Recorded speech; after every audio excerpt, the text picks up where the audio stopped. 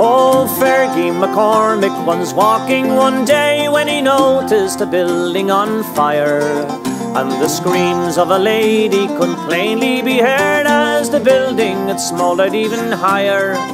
Oh, the trembling lady was clutching a baby, and the building was ten stories high.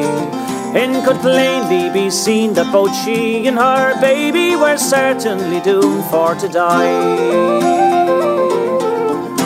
Well, the firemen were there with their ropes and big ladders, and they were holding a big trampoline.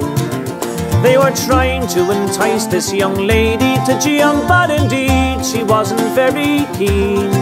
Oh, our Bobby was too small to survive such a fall, and she didn't refuse to let go. Oh, well, what could they do? They were all in a stew as they helplessly gazed from below. A hero, bold Fergie McCormack, says he throw your baby to me. Indeed, I will catch it, and from death I will snatch it, and safe in me arms he will be. Oh, his masculine arms and the big fullback's charms laid down all this young lady's fears.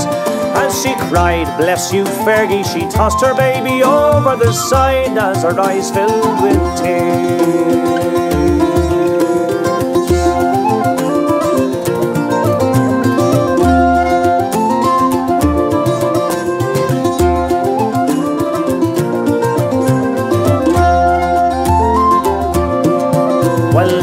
Rest of story can long be remembered in history throughout all the land.